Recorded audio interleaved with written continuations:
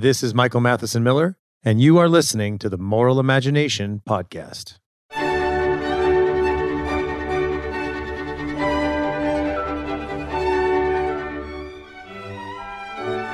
Thank you again for listening to the Moral Imagination Podcast. Delighted today, my guest is Professor Carter Snead.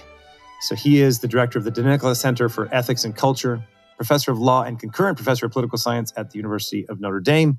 He's the author of What It Means to Be Human, the Case for the Body in Public Bioethics. And that's going to be the subject of our talk today. He's also working on a number of things on upcoming abortion Dobbs case and as well as articles in bioethics on kind of like mixed humanity. What does it mean to say a cerebral organoid? And I don't know if we're going to have time to talk about that, but like what happens like when you when you have a certain sense of a synthetic embryo? What does that mean for a human being? So all those things, just real quick, thanks to all those who have written reviews of the podcast. Please, if you like the podcast, do do write a review on Apple Podcasts. Also, my little booklet, The Digital Pandemic, or Digital Pandemic actually, is coming out soon. If you want updates for that, please go to michaelmathesonmiller.com or moralimagination.com and I can get you updates on that. And it's uh, eight steps to protect your family and your business from surveillance, capitalism, and data intrusion and cancel culture. So, first advice is pay for email, don't use free services.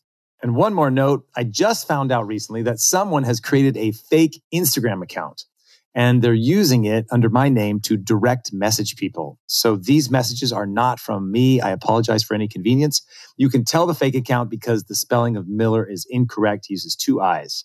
So if you're getting any message from this person, uh, ignore them. Please block and report him. And if you do follow this fake account, please follow me on my real Instagram account. All right. So really happy to have Professor Carter Snead on the podcast. Thanks for taking the time to join me. Oh, it's wonderful to be here. Thanks for inviting me.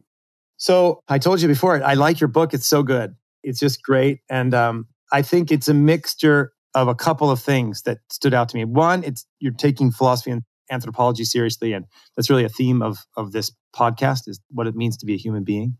Two, you're making the case, which is really important. It's something I want to like maybe start talking about. That law shapes how we think about the world. It shapes culture, and that a lot of contemporary law around bioethics, abortion, in vitro fertilization, etc., is actually applied philosophical anthropology.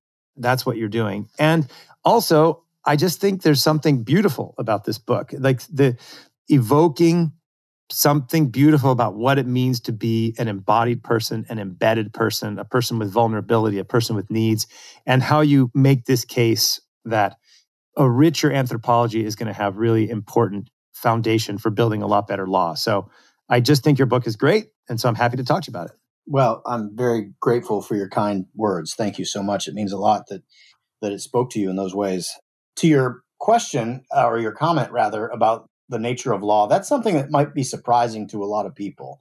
Mm-hmm. A lot of folks who are not maybe people who even are law professors or practicing lawyers or law students don't get the deep intrinsic really inextricable connection between law and normativity first of all right the idea that law all law is normative all law is irreducibly right. aiming at a particular good to be pursued or harm to be avoided there's no separating law and morality, which is not to say, of course, that every moral question needs to be settled by the law, but it is to say that every single legal proposition, every single statute, code, regulation, judicial decision is grounded in a set of normative goods. And to understand what the law is most fully, you have to dig into those goods and say, what is the law aiming to promote or pursue, and what is it aiming to avoid, deter, or even punish?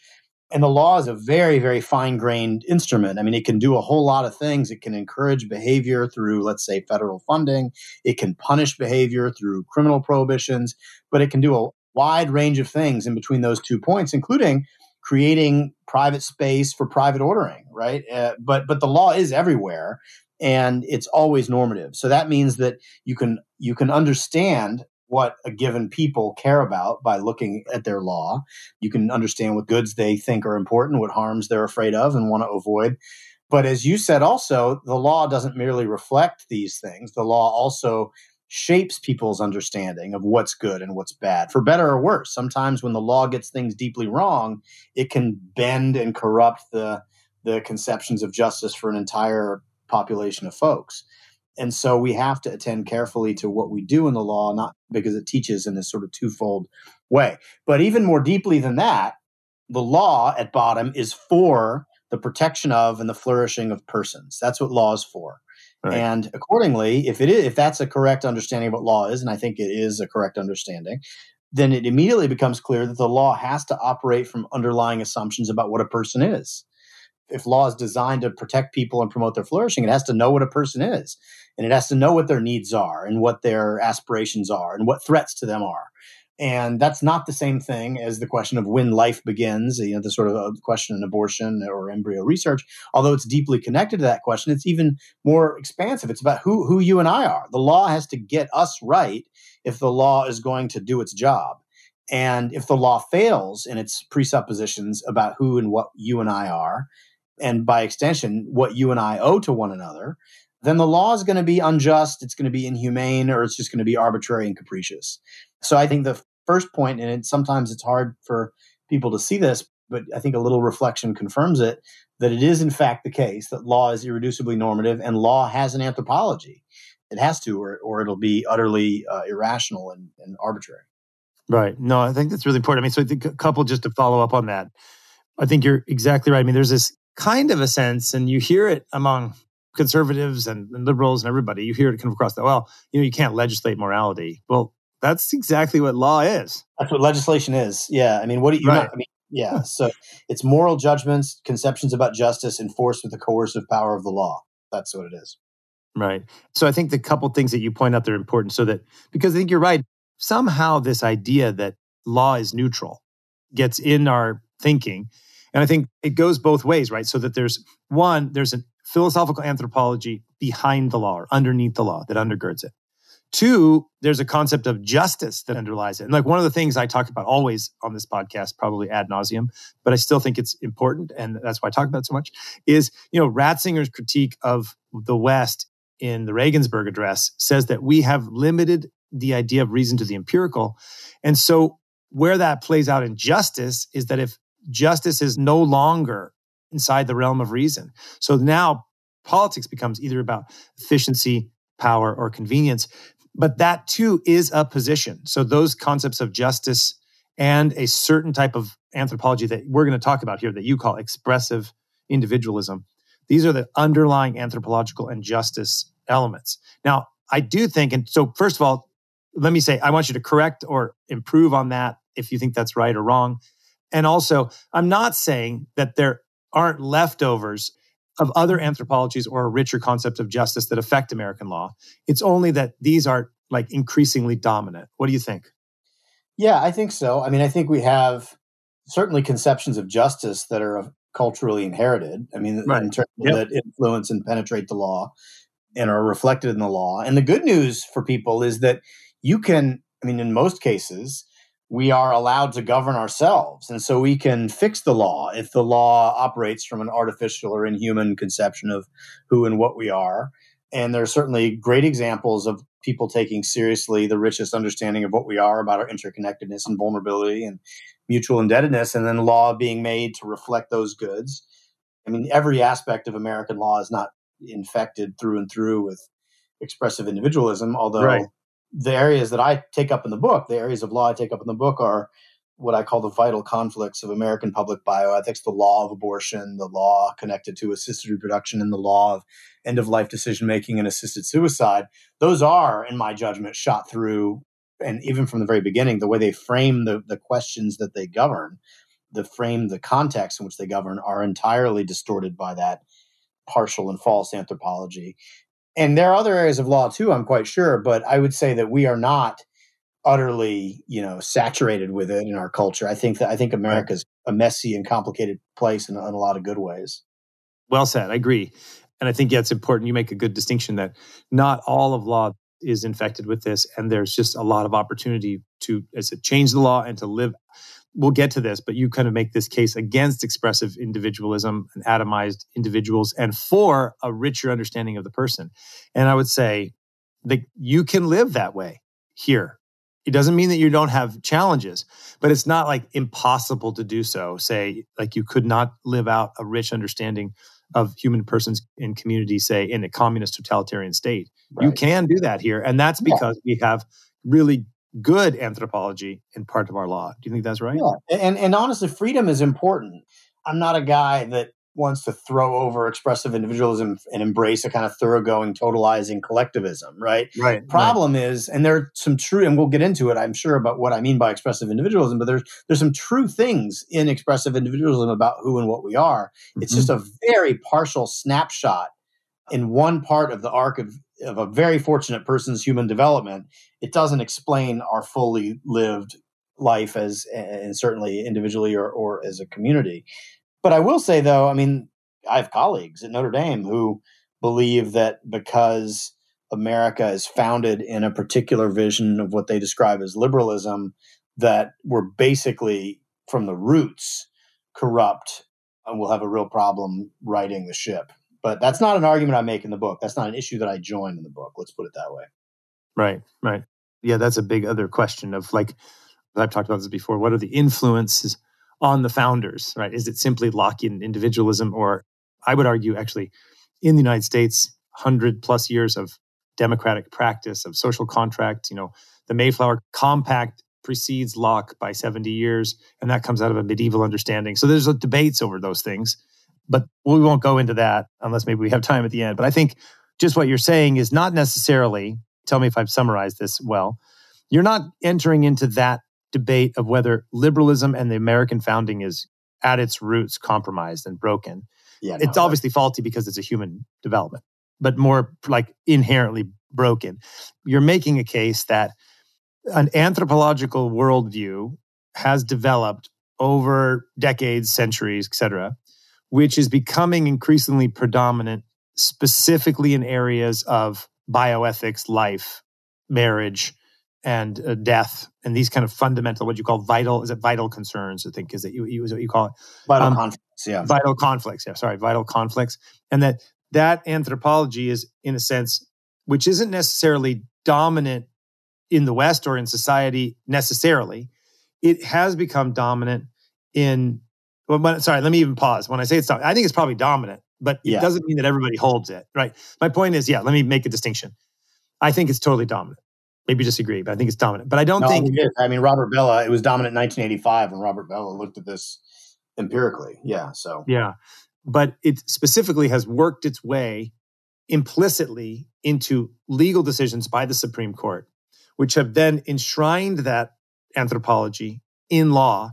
And because law is didactic, encourage people to think in that way so that the law is making that effort. And that your argument, and correct me at any point, your argument is look, there's parts of what we'll call expressive individualism, right? That's what you call it, that are true. Like human beings can make choices, right? We, right. we there's a certain freedom that's there. And Robert Nisbet talks about the importance of community, but he also says, like, look, we like parts of the liberal freedom. We don't want to be told who to marry and what to do. And we want to have this certain amount of freedom. And there's something in expressive individualism that is part of the way we are able to make choices to kind of build a life for ourselves. And that's good. It's just not all of what life yeah. is. And if yeah. we reduce it to that, it has really negative consequences in law, especially it doesn't protect the weak and the vulnerable. That's exactly how I would say it. Yeah, I would say that's exactly right. Okay, so I understood. Good. All right. So let's go through it a little bit. You've made the first thing, which I'm glad we talked about, which is just that law has a didactic influence, it has a cultural influence, and it's, and it's grounded in anthropology. And so let's maybe, we've kind of jumped forward a little bit, but let's go back. And you're making this case that a lot of the law on the vital conflicts of abortion, euthanasia, in vitro fertilization, et cetera, are grounded in this type of anthropological idea that you're calling expressive individualism, and that central to that is a forgetting of the body. Yeah. It's forgetting or ignoring that we are embodied persons, or what I like to call embodied embedded persons. Can you yeah. develop that? Yeah, absolutely. So let me briefly say though what I mean by expressive individualism before I explain why it exactly why it goes wrong. So Great. expressive individualism, and I spent a lot of time. We don't need to talk about it now, but I spent a lot of time sort of locating, you know, with the aid of Charles Taylor and others, where expressive individualism comes from. Right? Taylor says it comes from Rousseau, and then it gets filtered through the Romantic poets, and then it emerges and then becomes kind of available to the common person and becomes part of our common American self understanding in the middle of the 20th century. And then Robert Bell, a social scientist, kind of confirms that with his his book Habits of the Heart, which of course is I think a Tocqueville quote forming that title, where he distressingly finds that that a lot of people in the United States kind of come to think of themselves in the way that he describes as expressive individualism. And what he means by that is a vision of the person that reduces the fundamental personal reality to the human being in isolation, the atomized individual abstracted from relationships, from family, from community, from civilization, from heritage, from any of it. It is the fundamental unit of reality is the atomized individual. And it's not just the atomized individual, it is defined by the mind or the will. The individual, you are your will, you are your mind. So it's to use the phrase we talked about earlier, it's a philosophically dualistic understanding of the person. The mind is who you are, and the body is an instrumental attachment that you have that you can harness and bend to conform to the projects of your will. And human flourishing is, and the one thing to notice, by the way, also is that if you're defining a person by cognitive capacity to formulate future directed plans and to follow those plans, you've just excluded a huge segment of the human population, right? So out of the gate, this is an exclusionary kind of reductive account that only only recognizes a certain sliver of the population that is those who are cognitively able to do these things as members of the community of persons and that turns out to be a big problem in bioethics or just mm-hmm. generally a big problem but it's and so human flourishing through this lens is the interrogation of the interior of the self which is the only morally definitive and decisive authority that we have is what's inside ourselves we interrogate the interior of the self to find our unique and authentic truths, to express those, to configure our life according to those, and to pursue our future directed plan with that endogenous, you know, sort of truth that we discover that's unique to us.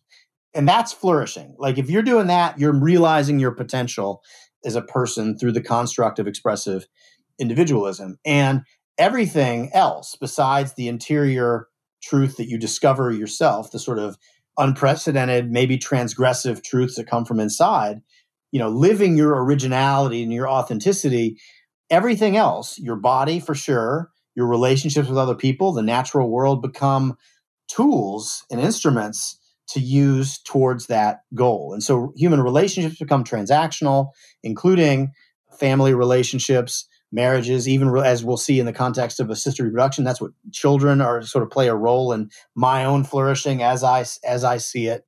And so it's a, a vision that doesn't acknowledge or recognize the possibility of an, what I describe as an unchosen obligation. This is entirely the domain of consent and bargain for exchange. And I only have to do those things that I agree to do in advance. And I'm only going to agree to do them if they serve my ultimate interior truth my own life plan, which comes from inside myself. And so there's nobody who can say to me, You owe me something. You owe me care and concern. You owe me a safe place to live. You owe me, I'm a baby. You owe, I'm your baby. You owe me food and shelter, or I'm your elderly grandfather and you owe me you know, care and concern and safety and protection. I might very well take care of those people, but I'm only doing that because I've agreed to in advance and I'm doing so to advance my own vision of flourishing. And so we're in the world of contracts and transactions. And the fact that I, and I can't even see, I can't see or hear those people around me who are making claims on me who I didn't choose to help in the first instance. And there are some people I can't even recognize because I don't recognize them as persons because they can't do this cognitive activity that is, that I describe as human flourishing. So why does that fail to give a full account of who we are? First of all, it's a very sexy account, by the way. Like it's everybody, I mean, it's pretty awesome to imagine the sort of atomized individual will bestriding his environment, imposing his will. And what it should remind people of who've read Milton, it should remind them of Satan, right? It should remind them of the devil addressing the other fallen angels, denying his creaturely status before God, and saying, I don't ever remember being created. I don't recognize your claim that I'm a creature. All I know is that I have power and I have a will and I have a capacity to impose that will. And that's exactly what I'm going to do. and so it's it's an appealing and kind of maybe uniquely appealing to Americans, kind of rugged individualism. I'm out there creating my own reality, and uh, and you can see why it was attractive to artists and, and literary figures in the Romantic movement. Although they actually believe there was a kind of commonality, uh, sort of universal nature that ran across that they were accessing, rather than everybody has their own truth. So I think that that's one interesting refinement or distinction that happened between then and now. But why does this fail? It fails because what it means to be a human being is not merely to have a will and a mind and a desire and the capacity to pursue those desires, but we are also embodied beings, as you said. That is, we are our bodies. Now, that's not to say we're only bodies. I think we're dynamic, integrated uh, union of mind and body, right? Like, obviously, like it, there's something. I mean, so you don't want to make the other mistake and say, "Oh, we're just kind of machines," you know, sort of bestialism versus angelism or whatever, as Walker Percy talked about. But the truth is is that expressive individualism forgets the body it forgets that we are embodied it forgets the fact that we are in how we experience ourselves and the world and those around us living fragile beings in time that are that are mutually dependent upon one another that are vulnerable and that are subject to natural limits. And that reality those inexorable entailments of our embodiment i argue in the book lead us to the to the conception that we are in fact embedded as you just said a moment ago right? It orients us to one another in a particular kind of way and there's nothing in expressive individualism that can take on board the facts and entailments of our embodiment and that's what i mean when i say after that's a very long-winded answer but that's what i mean when i say that expressive individualism is forgetful of the body which is borrowing a phrase from Alasdair MacIntyre. no, that's really that's really clear and good. And like so on page seven, I told you this is a section of your book I like. This is a section that's philosophical but also like beautiful. And you say this is a seven and eight. I'll skip around a little bit, but you say to that end, this book articulates and defends a more capacious account of human identity that embraces not only the truth and reality of human freedom, right? So that we are free, we can do what we want, but also the vulnerability, mutual dependence, and finitude that results from our individual and shared lives as embodied beings. I'm quoting. And then you say, you know, building upon this account, follows following MacIntyre, that for their basic survival and flourishing, embodied, vulnerable human beings depend on networks of uncalculated giving and graceful receiving, constituted by other people who are willing to make the good of others their own good, right? Regardless of what this might offer by way of recompense that's just fantastic and, and beautiful. But I think it also highlights the point that that our embodiment, that we're not just a will, kind of the image I always give is we're not just driving around in our body like we drive around in a car, right? right? But that embedded element of we depend on networks that are uncalculated giving and graceful receiving. And then you you go on to say, I'm quoting you to yourself. Okay. Uh, I go to you by first we depend on these networks then we participate in them. And because of that, we become the sort of people who can care for others in the same way. And so we go from needy consumers of unconditional care, like my little seven month old, to mature, uncalculating caregivers for others. And by doing this, it guarantees these essential networks, but also, and I'm paraphrasing, it's what we should do to be the kind of thing that we are so that we can engage in what human beings are supposed to engage in, which is love and friendship, right? And not simply just transactional. And I, I think like your your point that it's almost like this hyper transactionalism misses the fact that we have this deeply embodied natures. And I think it's really good, really important, but also it's compelling. My point I say that is it's a coherent articulation of how our lived experience and live reality, as opposed to the other one, which you say is a sexy account and very alluring. And it maybe suits us at a certain part of our life when we're able to write these philosophical books, right? But doesn't actually meet with the lived reality of what it means to be a person. Yeah, I agree. I mean, first of all, I, I just want to agree with I guess myself that you just read to me that uh, that, uh, I love what I say. I'm always that, that we are no that that we are uh, we're most human when we're taking care of each other. That's what we're here to do. You know, I mean, it's a normative claim, and again, as I say in the book at the beginning, I, I'm not trying to be like I'm not articulating a set of premises and conclusions that are philosophically bulletproof and can't be Right. quarreled with and that. I'm trying to say, and it's exactly what you said, I want people to recognize something about what life is in this description and to be persuaded because it resonates with them and their lived reality, right? And the kind of, th- I mean, if, if, if people don't agree with it, if people say, you know what, I don't agree. I want to be. I want to be that guy. I want to be that guy that bestrides the universe and does what I want to do, and and nobody has a claim on me that I don't. I'm like, okay, that's fine, but that means that you're being indecent. You know what I mean? Like, like that's. I mean, and if you can't recognize the indecency of that preference, Yeah.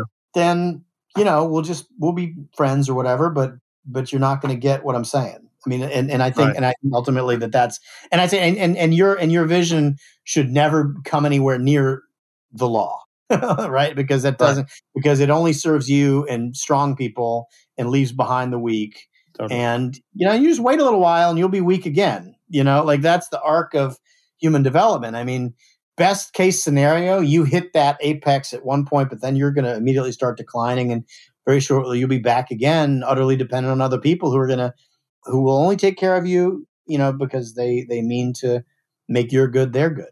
Right. Right.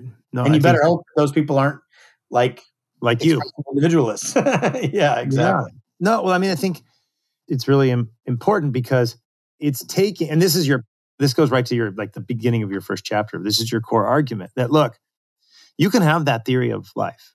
Okay. But the only reason, let me, and again, push back if you think I'm not representing right. But the only reason you can have that theory of life is because somebody else made your good their good That's right. to That's get right. to get you into this point. And now you're there. And I'll be harsh because I'll say you, we, when we think that way, which we all do to a point, we lack gratitude. Exactly. So Thomas Aquinas, right, says that truth is conforming your mind to reality.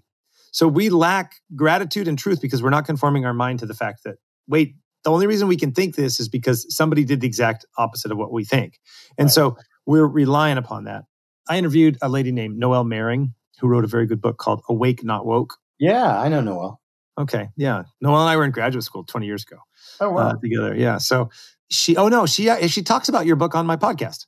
She Oh. does. Yeah, yeah. She actually she brings it up in your podcast. That's right, in the podcast. So it's like a two hour interview. It's good. Mm. If you haven't listened to it, like listen you haven't to it. listened to it, Yeah. listen to it. Okay, great. she's great. I have that book. That book is literally on my dining room table right now. I've not opened it. yet. Okay, good. Oh yeah, it's good. I wrote a blurb for it, so I'm on Oh. your dining room table. Excellent. I love it. All right. okay. It's very intimate. it's not so transactional. Okay. Yeah, Anyway. so, but anyway, at one point, I thinking was we were having this conversation about her her book and what the underlying is of wokeness and everything, whatever, and that's complex. But but there's a sense, you know, that made me think about what you just said, where we talk about this, that people are very upset at, say, sexual injustice and abuse, and rightfully so, right? of course. Of course. like what struck me is you have these, and this is I talk about this in more detail in the Noelle Mering podcast, but you have these two things going on. Like you can't simultaneously tell people they can do whatever they want and whatever they feel because that's the authentic self, and every other self is performative. And so you have the apex of the expressive individualism of the, you know, the Ubermensch almost, right? Like who's seeking after his own desires and simultaneously say, well, you can't do bad things to people. Well, as I say, you know, 15 year old girls don't abuse Jeffrey Epstein. right. Jeffrey Epstein is a person with power living out expressive individualism and also materialism, and then seeking as much pleasure as he possibly can by abusing the weak and the vulnerable.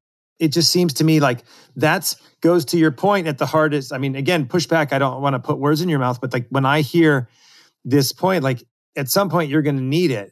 If you put expressive individualism because you want to be the, you know, sovereign individual who goes off and does what they want, okay. But if that becomes written into law, that means the weak, the vulnerable, children, the elderly, the disabled are going to get harmed. Yeah, I mean, anybody who is not able to do the things that expressive individualism recognizes as a marker of personhood is going to be an inchoate material for them to harness to realize their their goals, you know. And I mean, you could try to salvage it with some kind of Millian like, well, you can do whatever you want so as long as you don't hurt other people. the problem there becomes is you still, as Taylor points out, you still lack a principle of belonging there, right? You still lack yeah. The idea that you, what about those people that need your help, right? To say everybody can go do what they want as long as they're not hurting somebody leaves an awful lot of people behind who are entitled to their help by virtue of their mutual indebtedness and the fact that we're all, you know, members of the human family. Mm. And so that's that's the embeddedness, right? Like if I'm just like if I'm just a guy that can bop around and I'm look, I'm not hurting anybody. I'm I'm careful not to hurt anybody in pursuing my my hopes and dreams, but I'm sure not helping anybody.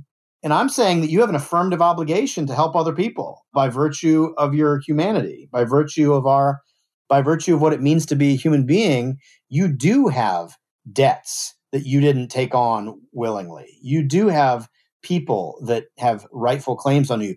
And uh, on the other hand, you have privileges that you don't have to earn. If you're a baby, yeah. you don't have to earn the right to be taken care of by your parents. If you're an elderly father or mother, you don't have to earn the right to be cared for by your by your children. That's the nature of the thing. That's what it means to be in that kind of relationship. Right. And there's a radiating web of relationships, as you said, and these networks of uncalculated giving and graceful receiving that are essential for human survival, but are also essential for learning what it is that we're supposed to be. And it's not enough just to say, I'm going to go, I'm going to go off and do my own thing. It's the juvenile quote, right? It's childless men who have forgotten their childhood.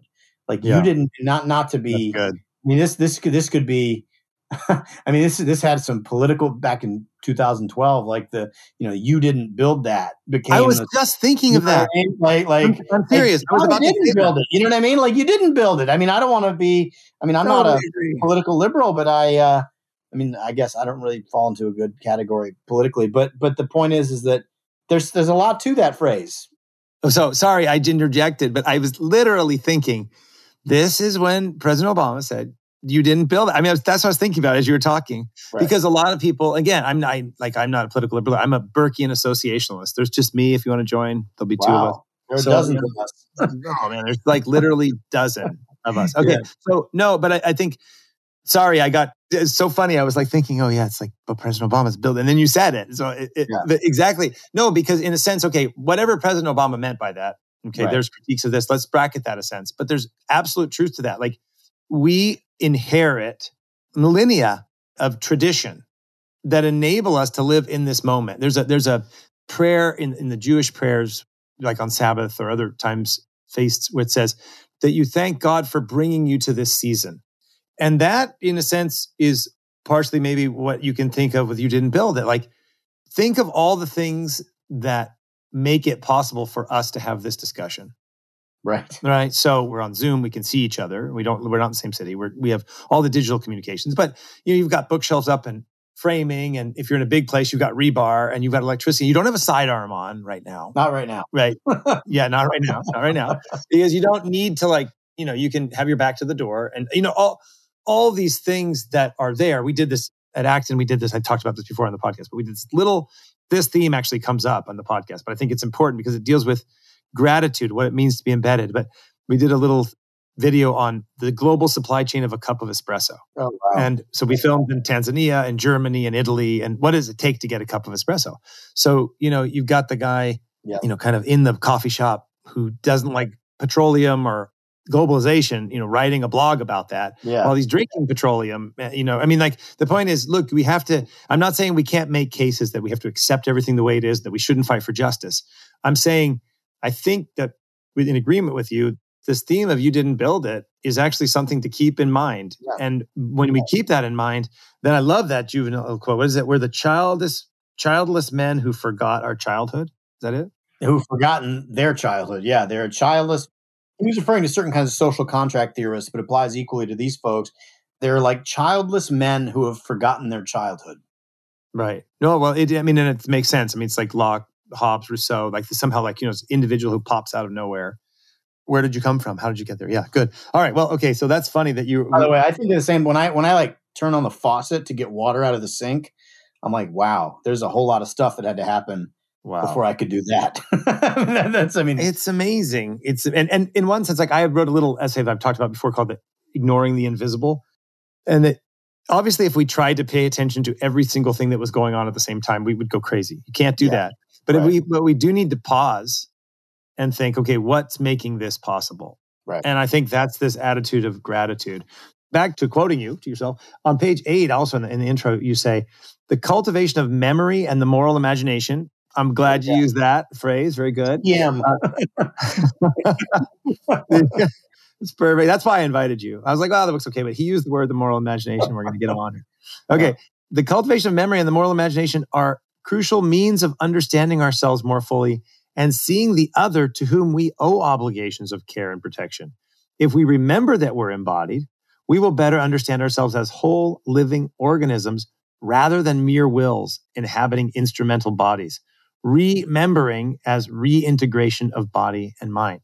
If we remember that our embodiment renders us vulnerable and dependent upon the beneficence of others for our varied lives and self understanding, we will more clearly grasp our obligations of just generosity and reciprocal indebtedness to those who are likewise vulnerable.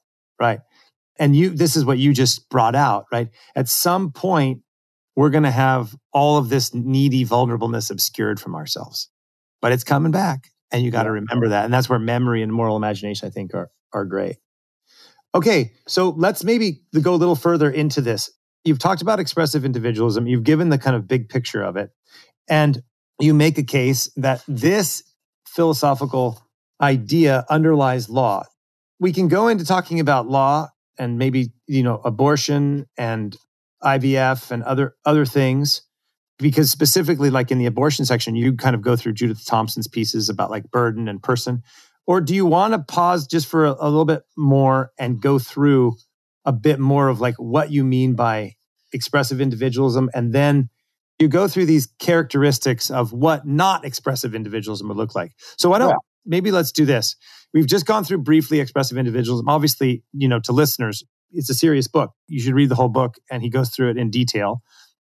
Let's just leave it there for there and go to summarize what a non-expressive individualism yeah. would look like and then we'll go into the law and specifics Sound i think good? that's a great that's a great way to proceed so what do you do? We've already said expressive individualism fails because it fails to take seriously the reality of our lives as embodied beings because it, it doesn't see our natural limits, it doesn't see our vulnerability, it doesn't see our mutual indebtedness, and therefore it can't make sense of our obligations to other people, and it can't even see certain very important vulnerable populations, children, the elderly, and the disabled. So the, the abstract question is well, what kind of anthropological supplement do you need to fill out the picture of what it means to live as an embodied being.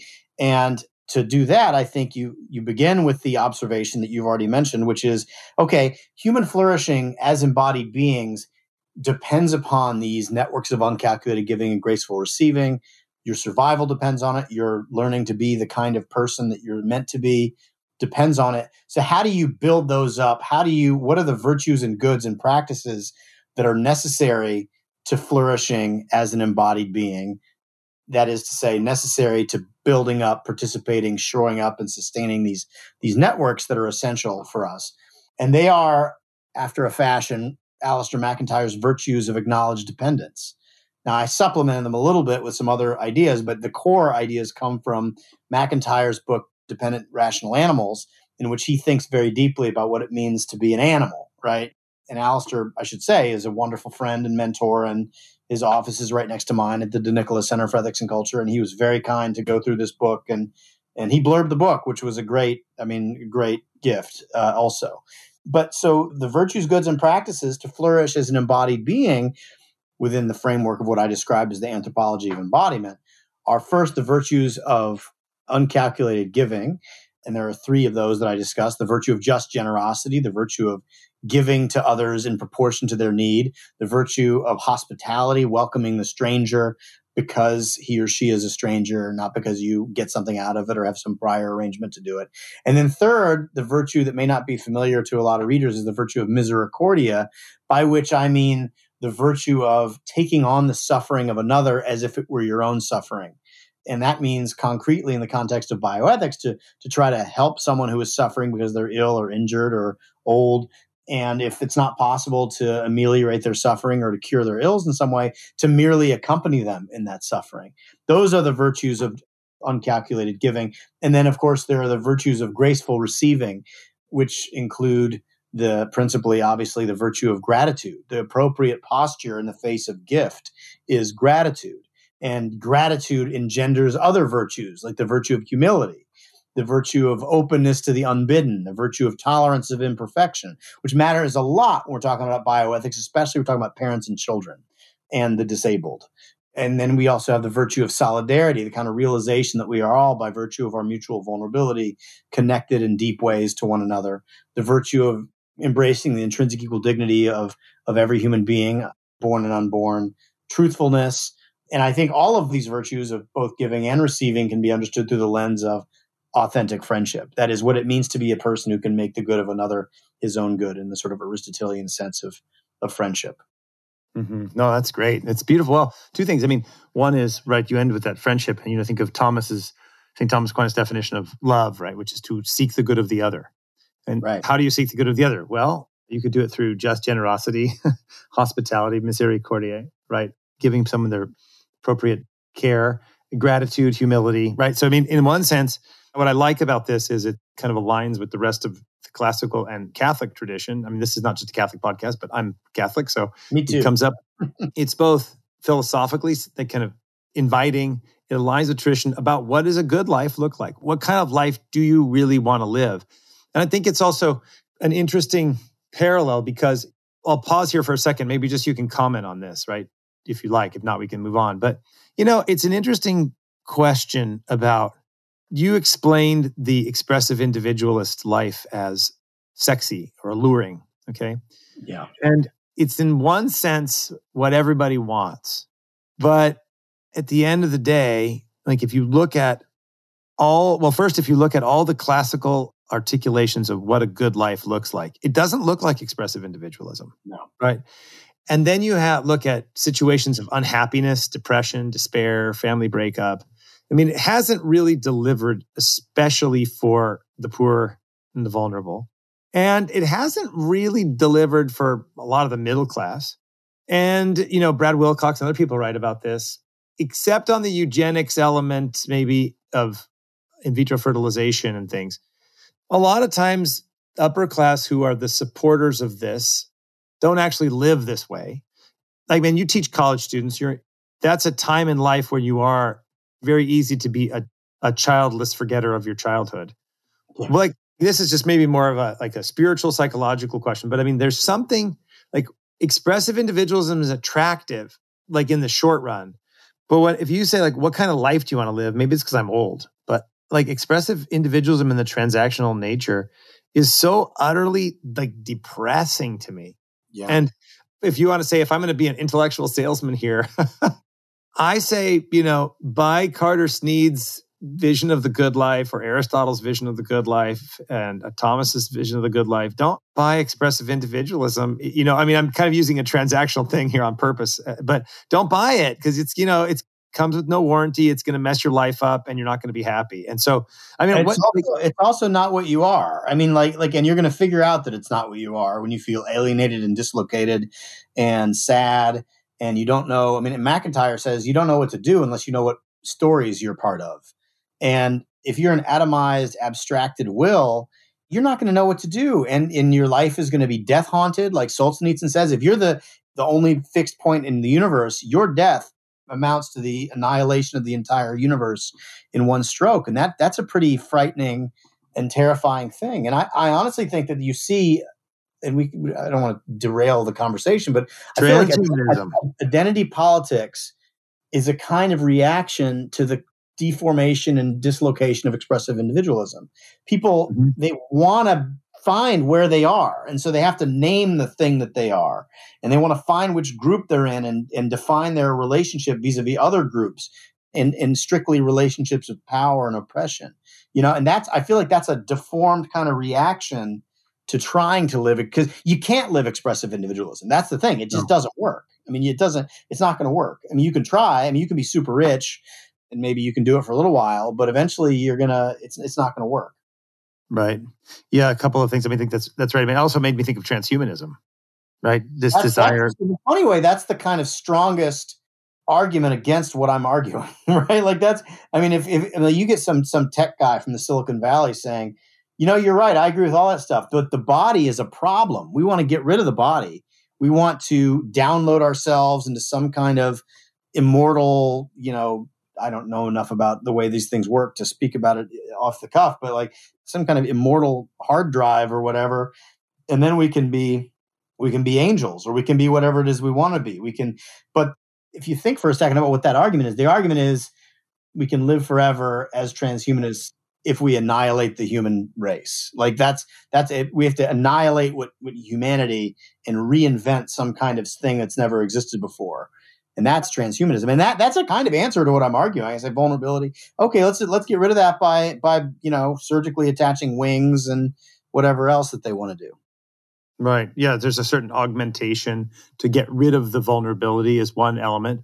But i would say like it does include still it would have to have a eugenic kind of sanitization of the human race so only strong people get so it still has that element to it. And then the other thing i would say and i've talked about this in the podcast with um, jim madden philosopher from Benedictine when we talked. But it's also a forgetting of the body, right? So I won't go into all the things I said so that listeners don't have to hear it twice. But our memory, that what are we going to upload?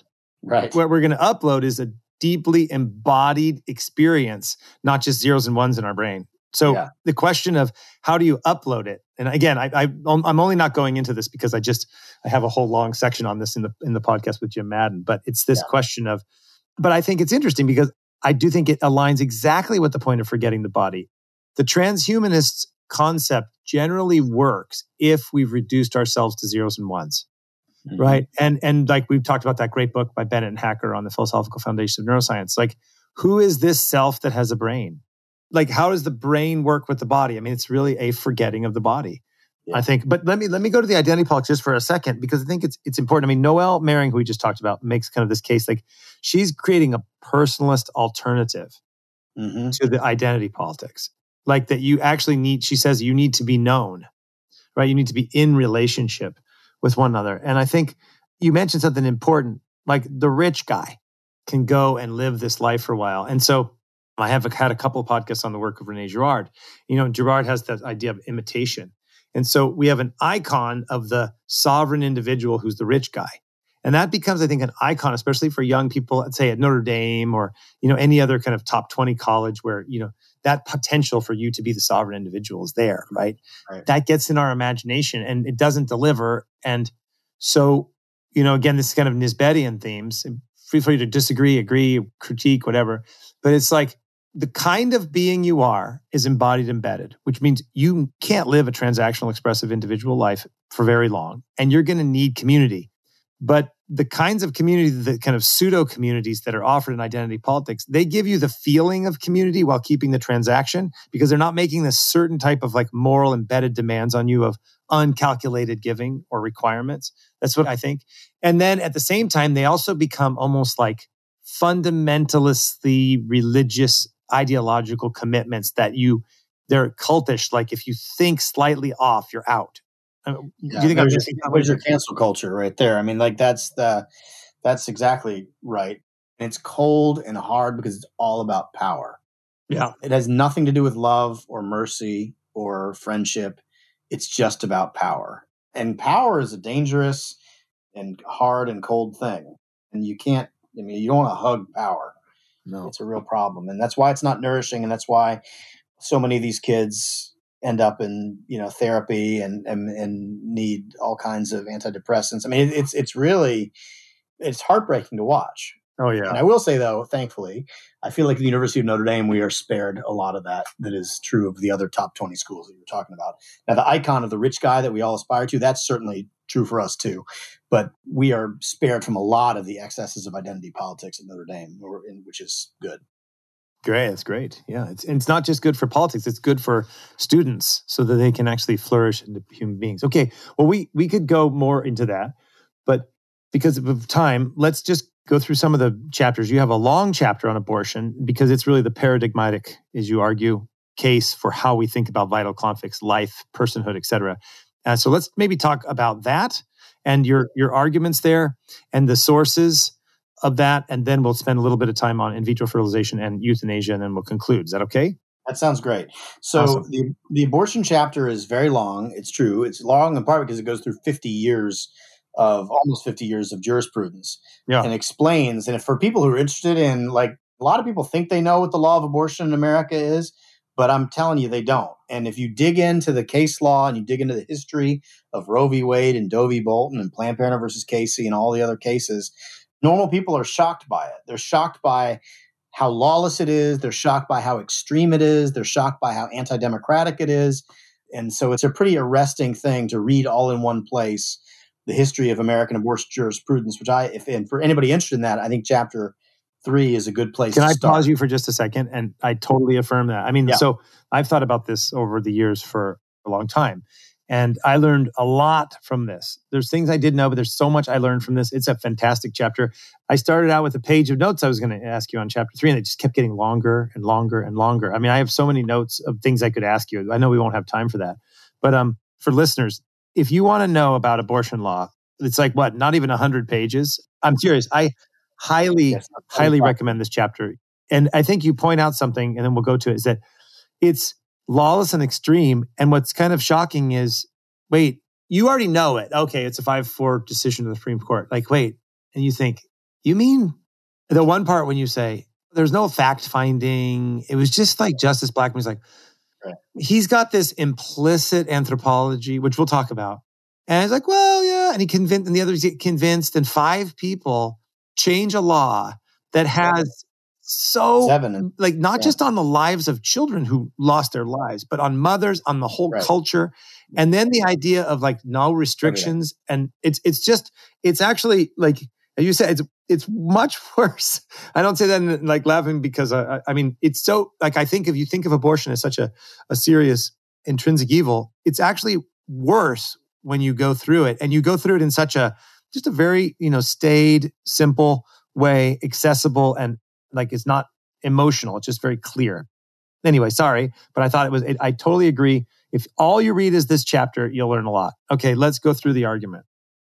Yeah, so I give the history of American abortion jurisprudence, and then I try to unpack inductively. That is to say, I take the law as I find it. I try to ask the question of what vision of the human person, human flourishing, is, is this jurisprudence assuming? And it comes to the surface very quickly that what it's assuming is expressive individualism. It frames the very question of abortion, the very question of the pregnant mother seeking an abortion, as a conflict among atomized strangers, right? It takes the mother as a stranger, it takes her child as a stranger.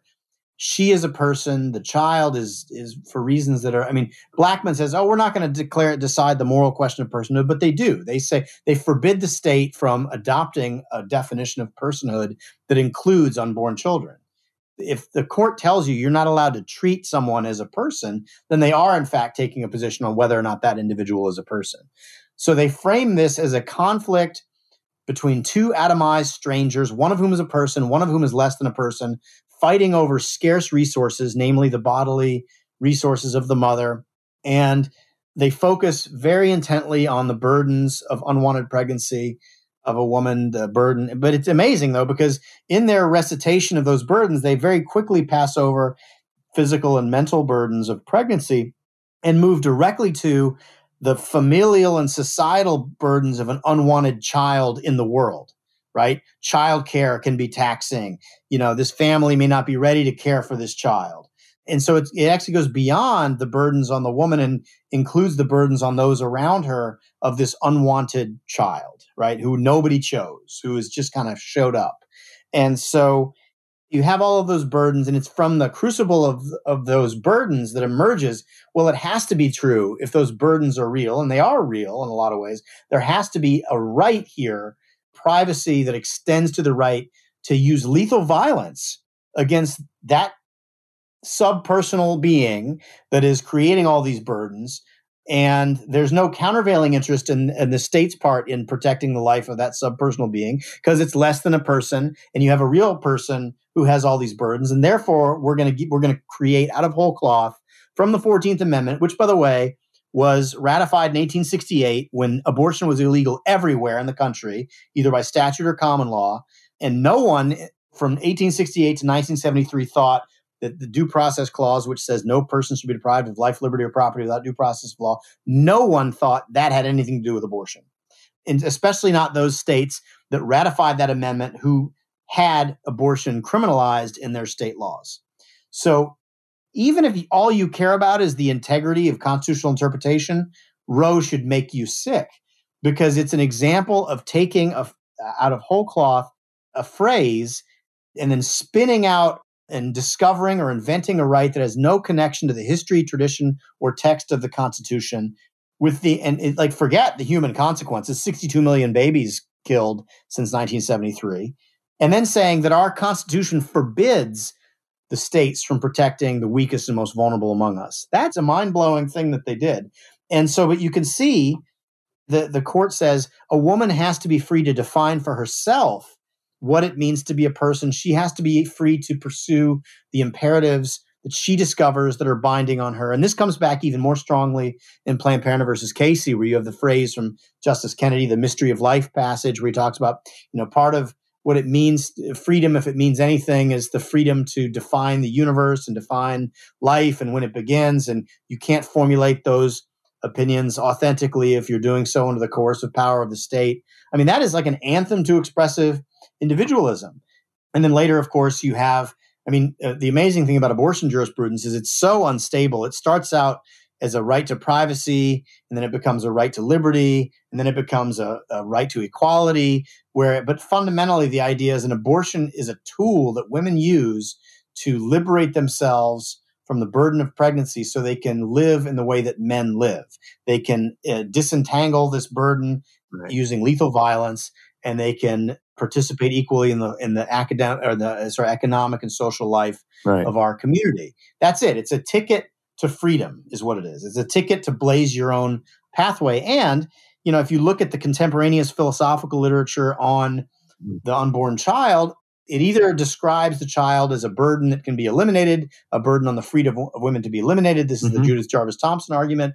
Or you get the Tooley argument, which is it's not a person because it can't formulate future directed plans which is a clear, again, articulation of expressive individualism. You can't do the thing that expressive individualism defines as human flourishing, therefore, you're not a person.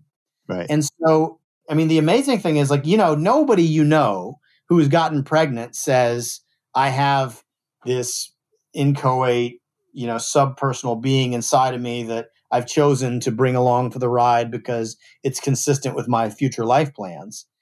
You say, I'm now a mother. I have a baby there's a relationship. It is a unique kind of integrated relationship of body and future that you really don't have anywhere else in, in human experience. And if you were to reframe the question in the way that I argue you should through the anthropology of embodiment, you describe the conflict differently. You say, This is a mother and a child in distress. And what happens when decent people hear that there's a mother and a child in distress, you drop what you're doing and you come and help. You know, if it's your mother, if it's your wife, you are there in an instant. If it's your sister or your granddaughter or your neighbor or somebody that you have heard of, you drop what you're doing and you help. And so defining it through the lens of expressive individualism, as Roe and Casey and these other cases do, it actually cuts off the uh, important avenues of care and support for women and children because it describes it instead of saying it's a con like two people, you and me fighting over a coat in the wintertime. That's an example as opposed right. To, I mean, that's an example. Yeah, no, exactly. Yeah, I mean that's yeah, exactly. Like that's what abortion is. That's what the human context of abortion is. That's the kind of conflict it is, according to Roe Casey and etc. It is about two individuals fighting over something necessary for their survival, and as opposed to a mother and a child in distress you know and what do we do in that situation we we come to their aid yeah no i think that's interesting i mean going through the whole thing i mean you went through doe versus bolton which you say you haven't really heard of and i said that's right i don't know that and it's interesting to watch how like you pointed out so it's first it's privacy and i thought that's like on page 116 you have this powerful element where you're like nobody which you said thought that the 14th amendment could be used for abortion. Like that was like not even thought of. So it was like really you know sneaking it in. But then privacy, then to liberty, and then to expressive individualism. And then what? What's the case? Um, Carhart, I think it is. Gonzales versus Carhart. Yeah, where, where Justice Ginsburg is making this case basically. Well, it kind of overlaps with Casey that well, people have been you know making decisions based on this, so we can't really change the law. And then Justice Ginsburg speaks about like, well, people need to be in a sense freed from the patriarchy to have this radical equality, which is, I think, interesting again because it's a forgetting of the body. It's right. that like there's no difference between a female human being and a male human being because all we are is a will, and we've right. we've forgotten the body. And then the way you talk about the mother and the child, again, forgetting the body, it doesn't take biology seriously, and so it is in a sense kind of post-human, transhuman, disembodied self that so underlies it. Now, the other the other thing maybe you could develop a little bit. So you you go through the philosophical sources in uh, what's it, the Journal of Philosophy and Public Affairs? It was called, yeah, Philosophy and Public Affairs. And you go through a couple of articles that you mentioned, Judith Thomson and, and Tooley. And maybe just for a second, let's go over that. I'm going to say when I read your section on Judith Thomson, so I have never read that article. So I need to go read it. But it was, I don't know if the word is amusing or sad to me. Yeah. But I thought, oh my goodness. I mean, this is every sophomoric argument I've heard for abortion and personhood for decades. That like I I'm being a little bit, maybe I'm being like with hubris or something. I'm like, come on, this is a sophomoric argument. Like, oh, in order to be a person, you have to have one of these five like arbitrary things.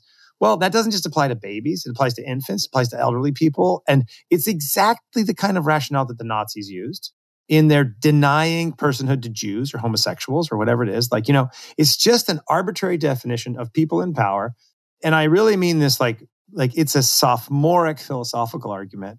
And so when I read that that's her argument, I'm like, wait, that's where it comes from? Like I thought it was just sophomores I was in debating but it's like the article that influenced Justice Blackmun. I mean, so I mean, maybe I'm being I haven't read the article, so I'm just you know. But anyway, yeah. that was my take. What do you what do you say to that? Yeah. So Judith Jarvis Thomson's article uh, in defense of abortion is may still be, but certainly was for decades and decades, the most reprinted and circulated philosophical article of all time. And in it, she tries to she tries to claim that her beginning premise is I'm going to assume, for the sake of argument, that the unborn child is a full human being, and I'm going to explain to you why it's okay to take his or her life in an abortion. And I'm going to give you a bunch of analogies, colorful analogies, and you will see when I bring you to agreement on these analogies that my underlying point is made. And she makes these bizarre analogies that are nothing like human pregnancy. The first one, the most famous one, is a woman is is kidnapped and anesthetized, and when she wakes up, there's a mm-hmm. famous violinist that's attached to her circulatory system, and they say, and the hospital says, "We're sorry this happened to you. We didn't mean for you this to happen to you. You were abducted by the Society for Music Lovers, and they did this to save this guy's life." And I'm afraid you're stuck. You have to stay in this bed for nine months. Then we can detach him because if we were to detach him now, he would die. And so that, first of all, the first thing that you notice is well, well, that's not how pregnancy works. I mean, maybe in a rape context that would be analogous, but but even so, I mean, you flip it around. I mean, does he have a right to self defense if she starts to try to unplug him? I mean, I mean, it doesn't actually take seriously the human context of pregnancy. But and then right. she says, well, let's talk about those cases of sort of contraceptive failure, not just rape, but contraceptive failure. Let's say there are people seeds that are all around and they come in your house and they embed in the floor and people put up these fine grained screens in their house to try to keep them out. But sometimes the screams don't work and the and the people become embedded in the floor. And it wouldn't be indecent or unjust for you to kill that person that's in the floor. And the sort of first response is, well, of course it would be. You know what I mean? like, you, you, you, I mean, like? You're not allowed to kill somebody that comes in. Like, but let's back up a step. This isn't.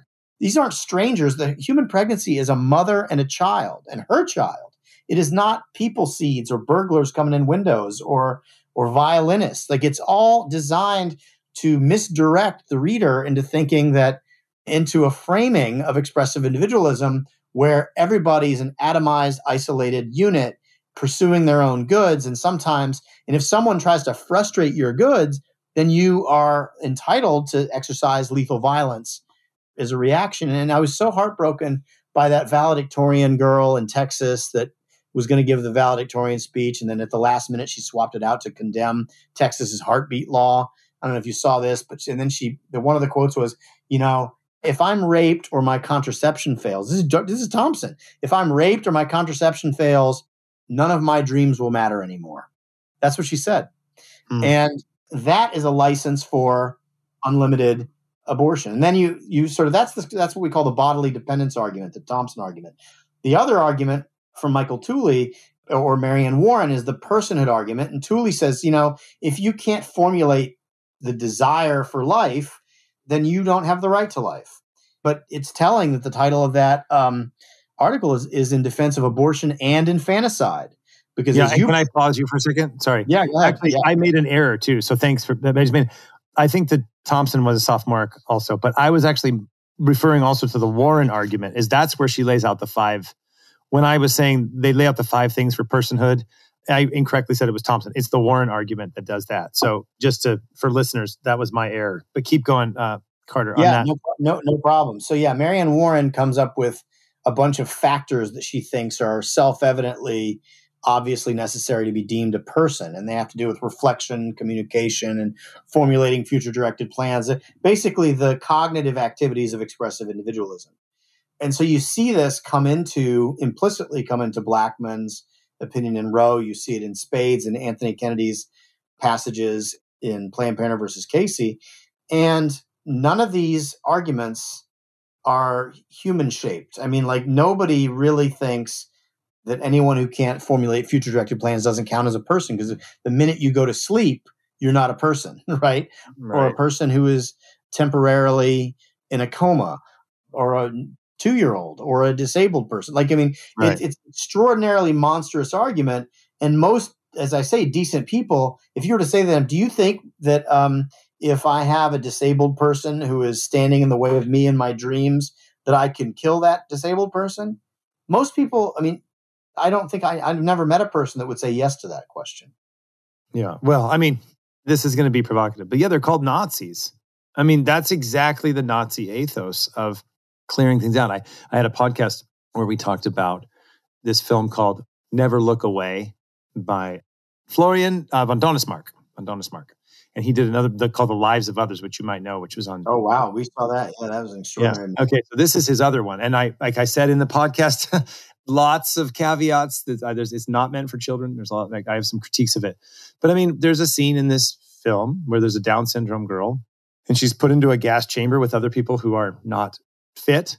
They're in the way of the flourishing of the Reich. And this is the concept, right? And they are gassed to death. And, and I mean, you know, it sounds, oh, it's the argument ad Hitlerum. I'm not saying that. I'm saying there's an ethos that you saw in eugenics in the early 20th century in the United States that gets, you know, amplified in the German National Socialists, where it's very much the case that disabled people are an obstacle to the flourishing of society.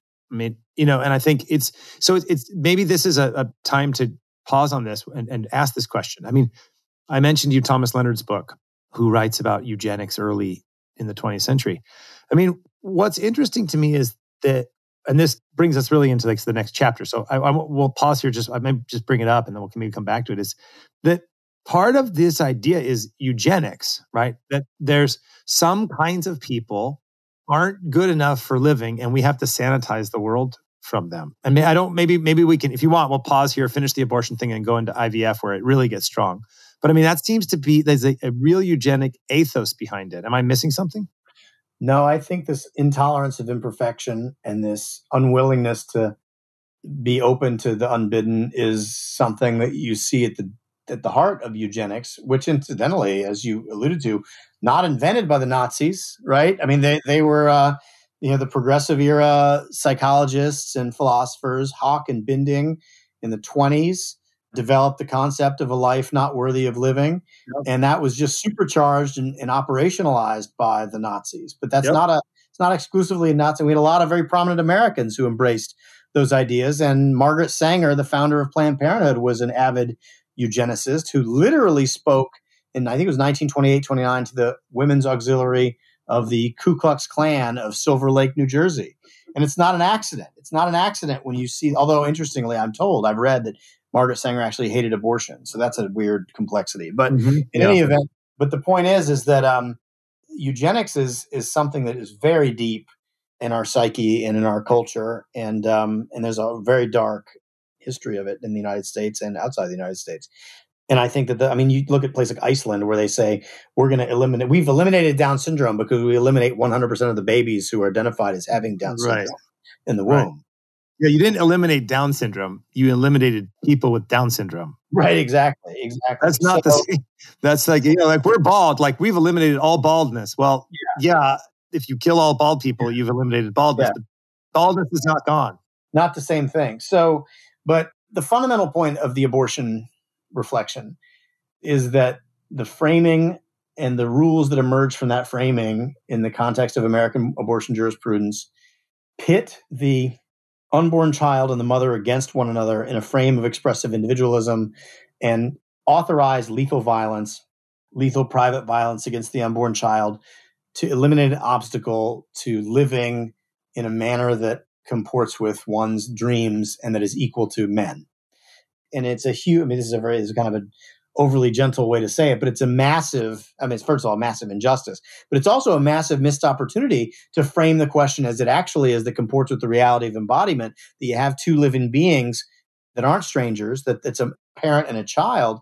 And just to back up a second, I mean the most pristine example of the network of uncalculated giving and graceful receiving is the relationship of parent and child. Mm-hmm. And the fact that abortion annihilates the relationship of parent and child and replaces it with a kind of war of all against all makes it you know not just a terribly violent thing that's resulted in tens of millions of deaths but also i mean it's, it's just it does violence to the most beautiful concept that we have the the concept of parent and child. Well i think that's that's well said.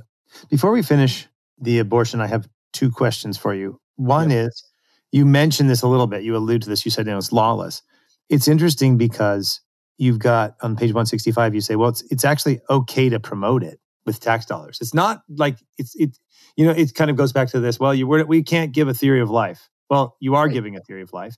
And it's like well we can't stop any from doing it. Well we can actually also promote it. So it's not simply uh well let's just live and let live. It's right. an active engagement of the state of the federal to prevent states even and other organizations from stopping it so could you just talk just briefly about that because i think it's an important point of, of abortion law. It allows for active promotion. Yeah. So, a couple points. One is obviously the, I mean, the fundamental, the best way to say what American abortion law does is that it claims falsely that our Constitution forbids the political branches of government at the state or federal level from protecting the unborn child from private lethal violence. It forbids the protection of children. Okay. Right. It doesn't simply say live and you can do what you want. You don't want an abortion, don't have one. It says there's nothing I can do. There's nothing my government can do to protect a child from being murdered by a doctor at the behest of her mother. Right. And then not only that, it's a one way ratchet. States are perfectly free, as New York does and Illinois does now, to fully fund abortion and Joe Biden, after years of claiming to be opposed to uh, uh, to be supporting of the Hyde Amendment, which is a federal law that says no taxpayer funding of abortions through Medicaid, except under certain narrow circumstances involving rape, incest, and life of the mother. He's flip flopped, and his budget includes uh, or doesn't include the Hyde Amendment protections. So Joe Biden just explain really quickly so everybody knows exactly what the Hyde. You kind of did a little bit, but maybe just a little the bit. Hyde Amendment was a federal law that says the federal government may not pay for abortions in certain healthcare, federally funded healthcare programs. Most importantly, Medicaid. Okay, so the federal government may not pay for abortion. That's a rough way of saying it, but it's almost entirely accurate. Mm-hmm. And so Joe Biden for years said, well, he began as pro life, and then he flip flopped to being not pro life. And then he says, oh, you know, I believe in conscience and, and I don't want to impose my religion on everybody. And so I favor the right to choose abortion, but I also support the Hyde Amendment, which forbids American taxpayers from being conscripted into paying for abortions. Well, now he's changed on that.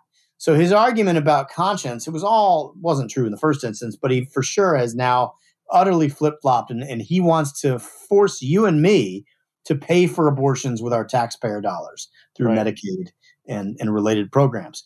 And so It's an extraordinary development, and I think people should be aware of it. And um, oh yeah, for sure. But the law permits that. The law doesn't forbid. The law is not neutral. All the law, the law says you can't do anything to protect an unborn child, but you can do whatever you like to promote abortion, and that's precisely what he's doing, and what other states like Illinois and New York have done as well.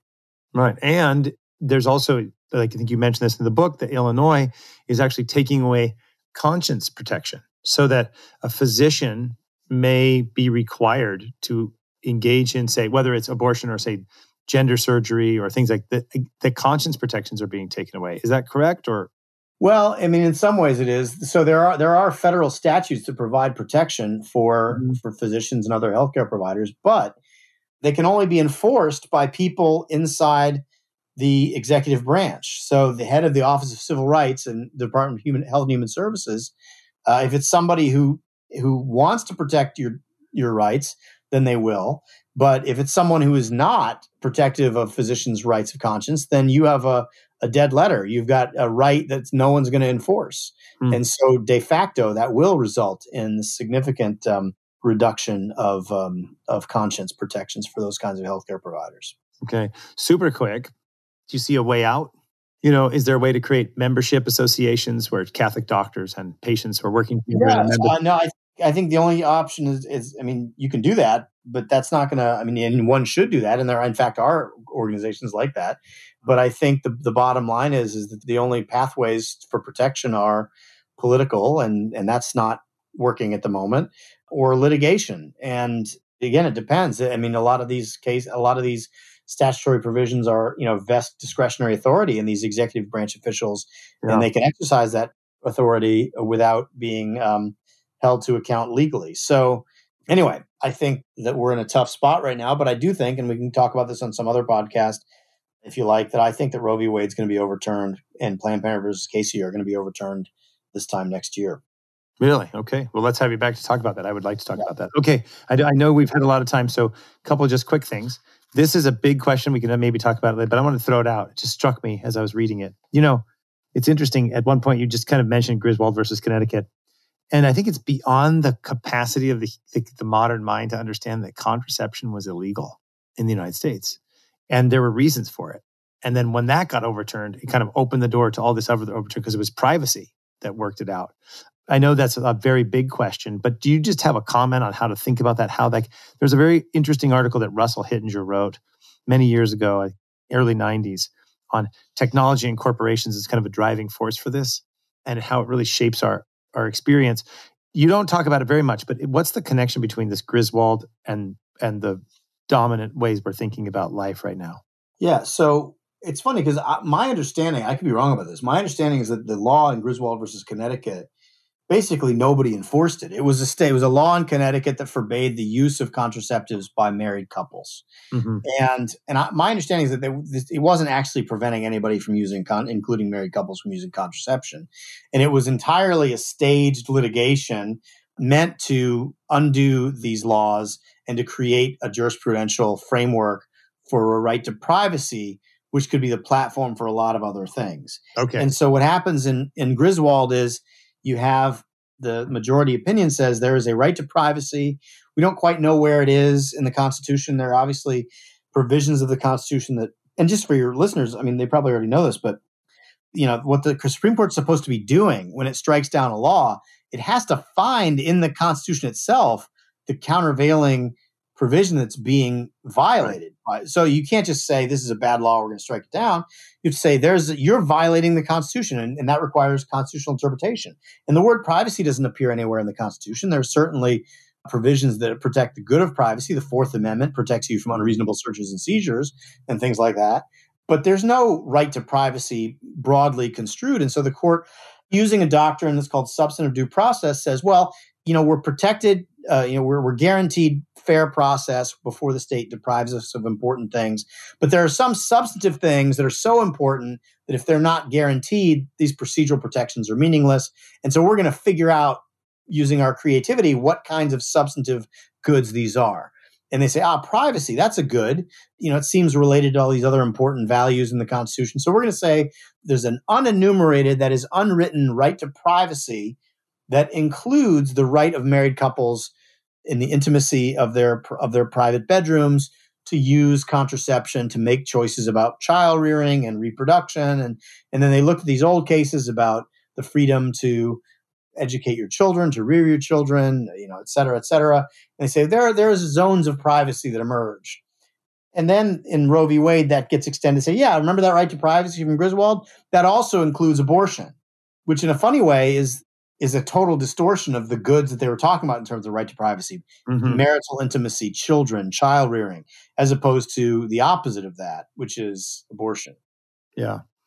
Okay, so I've, I've taken a lot of your time, but you do talk about two other big issues. We can't maybe go to them in too much detail, sure, because um, I know you've you've got a job, and um, but you talk about assisted reproductive technology, right? Uh, in vitro fertilization, and so assisted reproduction, and then assisted suicide, death, yeah. and dying.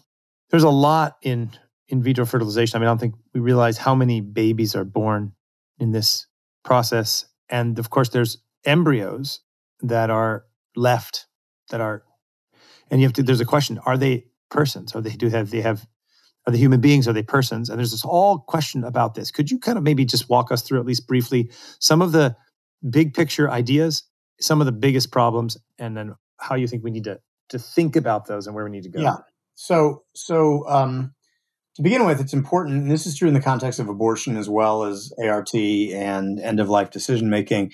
My argument in the book is that the law gets wrong who people are and what they need and what threatens them and what they need to be protected from.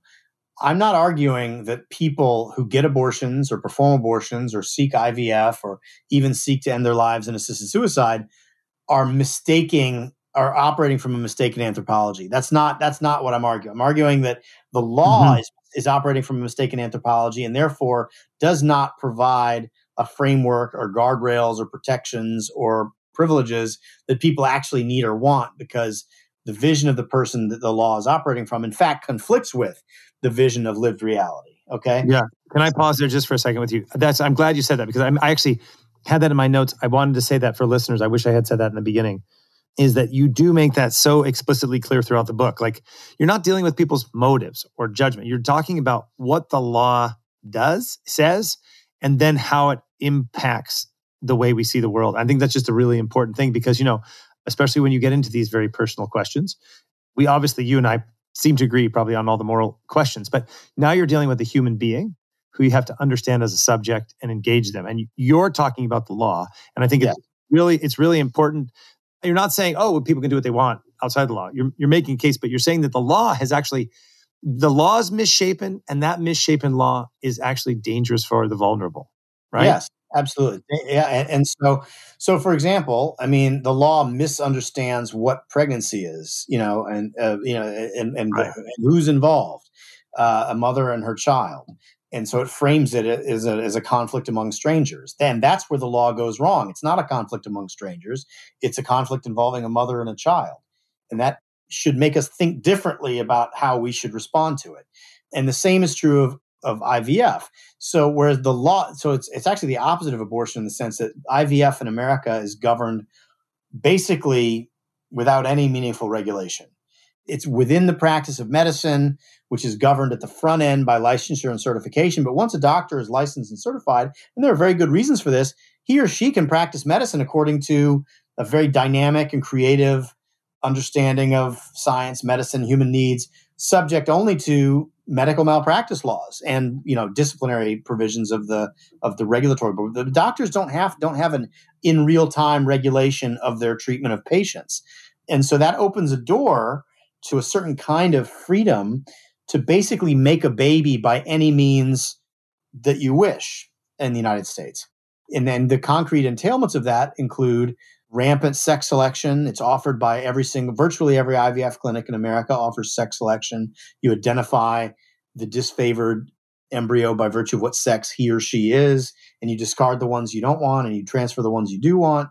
There are companies that advertise for the buying and selling of gametes, egg and sperm. There are companies that buy and sell batches of embryos according to certain kinds of characteristics that parents prefer that are not related to medicine or therapy. You have gestational surrogacy treated like you know uh, the buying and selling of wombs you know where babies are identified in, in utero and a gestational surrogate is having you know down syndrome. And so the contracting prospective parents want to want to abort the baby. They demand that the baby be aborted obviously you can't force in this country you can't force a woman to get an abortion but you can put a lot of pressure on her and you can frighten her and you can threaten to withdraw material support and take her to court. So these are all very bad things. So it's basically you know reducing children and women's bodies to commodities and and bargain for exchange. And the question is why is this? Why do we have this wide open wild west of of assisted reproductive technologies? And you start you can figure out why if you look at the architects of this landscape which include john robertson a late uh, professor of law who was the ethics chair for the american society for reproductive medicine which is the most important professional society for art doctors and professionals and the biggest lobbying arm that makes sure that the states that try to restrict these practices are unsuccessful in doing it.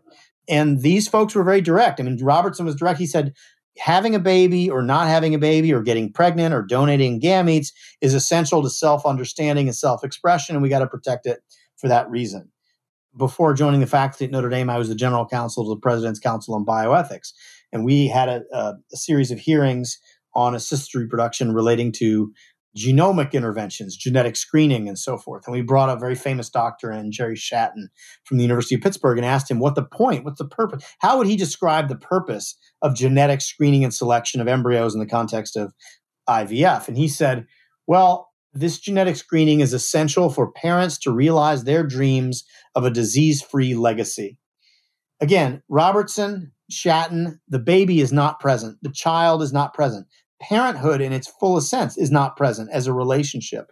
Parenthood doesn't make sense without two part without a parent and a child. There's no such thing as parenthood without a child. And that's what's missing in this landscape. And peop- and the people who seek IVF are not seeking to impose their unencumbered will. They're not trying to define themselves. What they're trying to do is become a parent and they feel betrayed by their bodies and they're vulnerable and they're desperate and they're broke because this is so expensive. And they are confronted with a legal framework that allows you know, rapacious, unscrupulous practitioners of IVF to sell them a bill of goods or to allow themselves to succumb to the temptation to do whatever is necessary to to hyperovulate themselves, to get a gestational surrogate, to try to to try to become pregnant with multiple babies or to use sex selection or to use you know genetic screening for non-medical reasons. And it completely undermines what the human context full, rightly understood is, which is a, a person seeking to become a parent. And if we were to understand what a child is through this lens, a child through expressive individualism, through the through the current landscape of the law, is a project or a product or something that exists for the sake of someone else that you make. It's a thing that's made and not begotten. Whereas what a child really is, when we think about the fullness of embodied reality, a child is a gift to be welcomed and loved unconditionally. And Leon Kass said, a child is a mysterious stranger to be welcomed and loved unconditionally. And everything we do in the context of treating people with infertility needs to keep that in mind. And it has to be recognized, and people have to be, I mean, parenthood and children have to be identified as such. And everything we do should flow from that. And anything that we do that fails to result in a child that is welcomed and loved unconditionally as he, who he or she is and respects and protects the parents of all different sorts involved is a defective framework. And I don't get into concrete, you know, legislative proposals in the book, but I do give us a kind of measuring stick to say anything that you do in the context of ART that contradicts the notion of what a child is and the giftedness of children and the and the vulnerability of parents is something that you should not be doing. Yeah, that's great. Very good. Thank you. No, that's a good, I think that's a good summary. And it deals with this, this, I think there's two things that, you know, a child is a gift. I sometimes say, when we say a child is a gift, that's not a sentimental statement. That's an ontological reality. It's a subject. Each person's subject willed for his or her own sake that is not simply an object for you to manipulate. And here too, I think you see this whole eugenic move. You articulated before, it kind of like came down into the mass ideas and and and the psychology that somehow you know sex selection is is okay well if we think about you know the whole eugenic idea that a baby now is, as you said, being made and kind of chosen and put together in its parts. And um, you talk actually about this in, in the book a little bit. I was in a years ago. I was in a video curriculum with Chuck Colson and Robbie George and a couple other people about it's called doing the right thing. And one of the things that came up was that eugenics is back and that parents will select an embryo that has compatibility with their child who's sick. And they'll right. they'll they'll choose among all these embryos one embryo and implant that embryo and have that baby so that that baby can be a donor to the other. Now savior siblings. That's called savior siblings. Yeah. Savior siblings okay. So maybe just talk about that really briefly this whole idea of finding the right child. And i think you make an important point maybe you can address that you know a lot of people who do ivf they don't have this vision of the person no. they think i wish we could have a baby I want a right. child that I want to love and care for, and we can't have a baby. What are we going to do? Right. And I think it's important that you said like they enter into this unscrupulous transactional world of objectification, and that's a big problem. And this idea too of which you'll see kind of again part of the transhumanist, right? The, this kind of powerful, isolated, atomized rich guy. You know, it's like uh, what kind of child am I going to create? Right. You know, and that I think influences our imagination. So our, our, it distorts our moral imagination. But it, could you just develop a little bit about just what's going on in that area? Because I think you made that important distinction. That's most people don't go in for that, but that's an increasing element. Is like I want a designer baby, is what they call it. Yeah, I mean, it's important not to overstate the technical capacities to make a yeah. designer baby. Although there are certainly companies that advertise different panels of tests they can give that relate to IQ uh, and skin color and hair color and eye color. Now, who knows? I mean, a lot of these things aren't single gene mutations. A lot of them aren't even multiple multigenic right. things. But nevertheless, these people are selling it and people are buying it. And um, and, what are called off-target effects, right? Is that what they're yeah, called? Yeah, yeah. Well, that's for gene editing. I mean, that's the, there's no gene editing going on in the United States right now to produce children for reproductive stuff. That's actually illegal under under mm-hmm. current U.S. law under, by virtue of the Aderholt Amendment.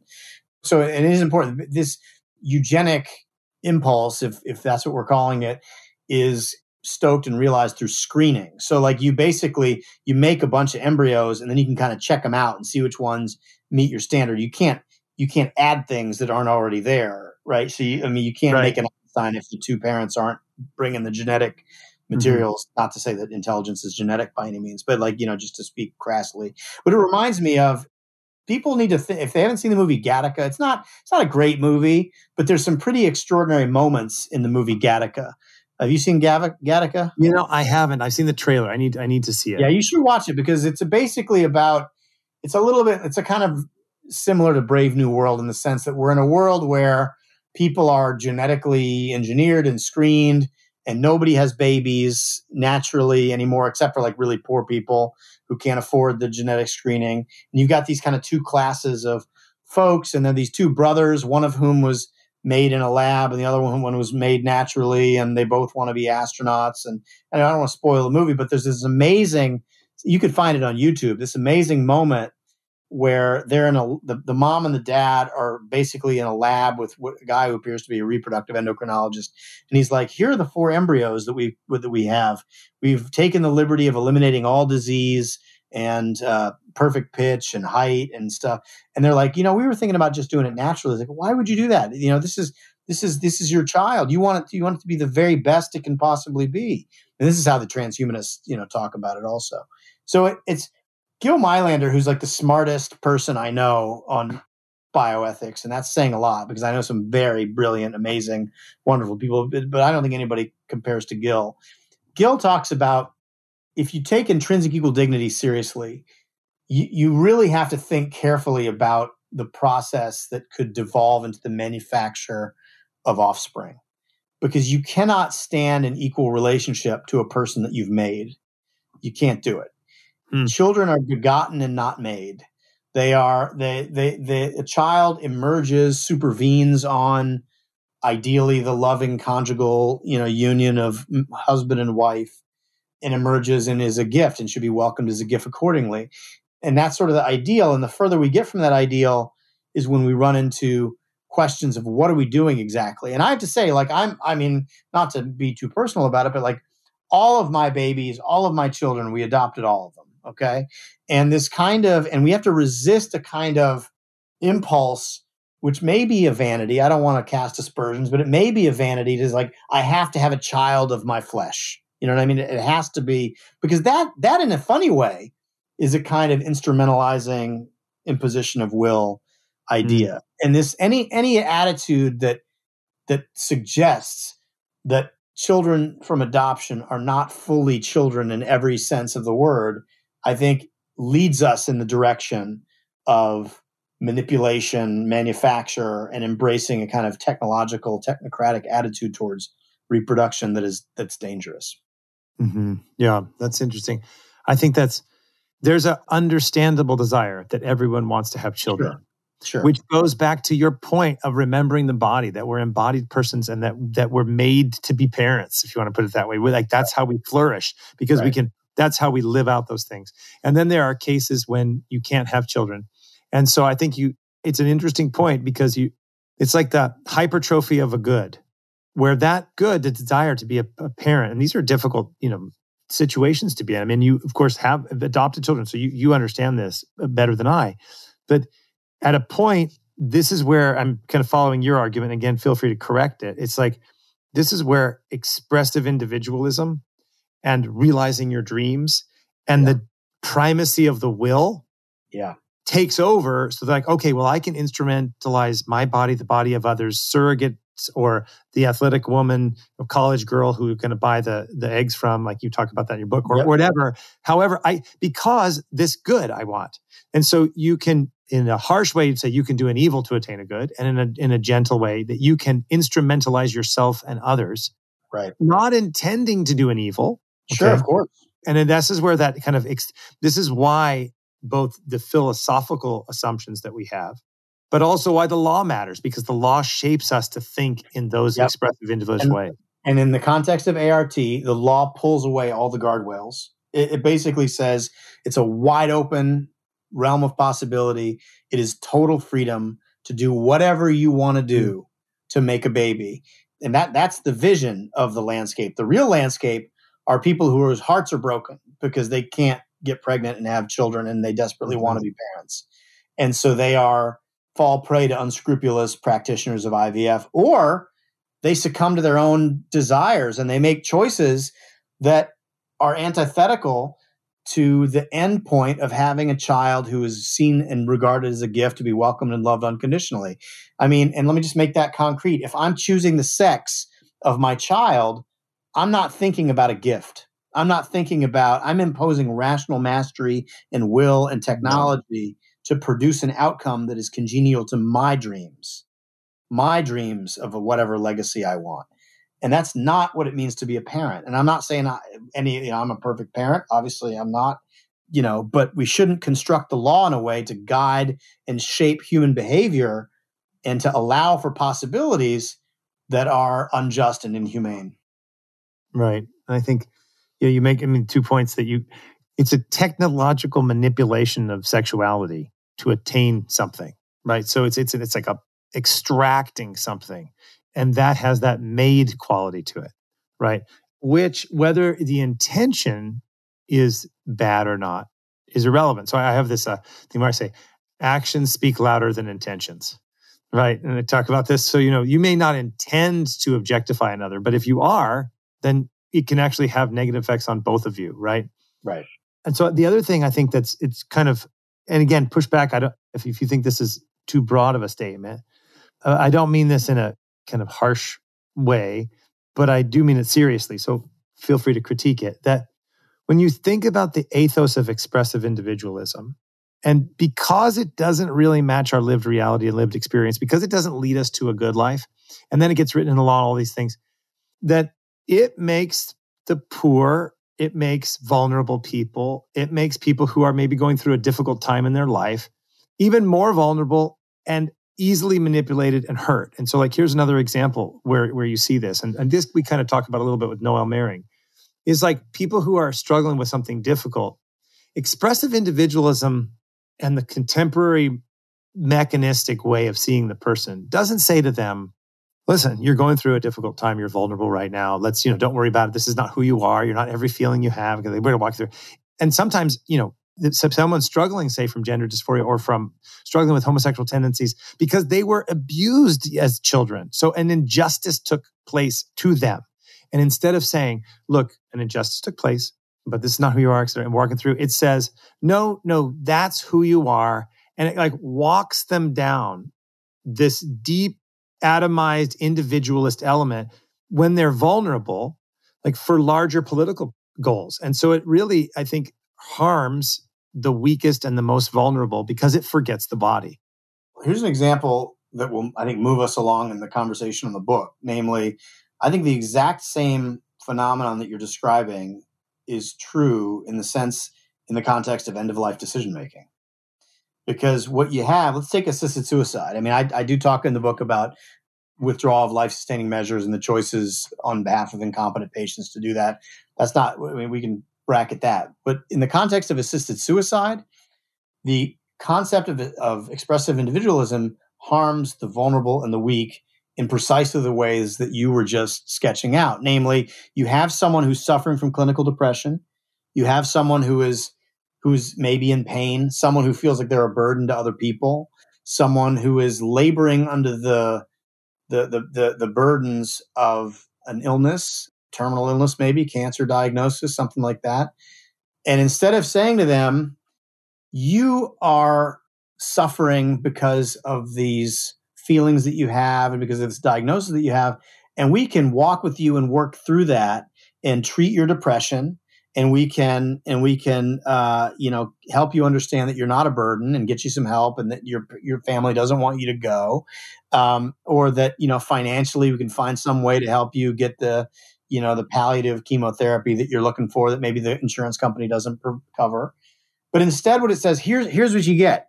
You get the right to annihilate yourself. You get the right because this is you, you get the right to impose your unencumbered will on this tragic situation when in reality the people i mean people who exercise autonomy exercise autonomy when they're actually free and not laboring from some internal or extrinsic co- coercion the opposite is the case with people who are seeking assisted suicide, where the vast majority of them are suffering from clinic, clinically treatable mental illness, depression, other things that lead to suicidal ideation.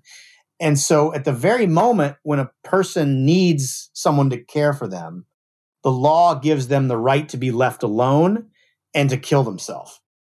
And that is, and because the law doesn't understand who they are or what they need, the law says, oh, you're an atomized individual will seeking to make an, a defiant existential choice at the end of your life to avoid diminishment and the loss of the faculties that make you flourish under expressive individualism. Uh, so here's here's a prescription for some drugs that you can take by yourself, or who knows? There's nobody. There's no requirement that you. There's no requirement that we that we uh, do a psychological analysis. There's no requirement that anyone be there when you administer these drugs to yourself. There's no requirement that we do an investigation about elder abuse.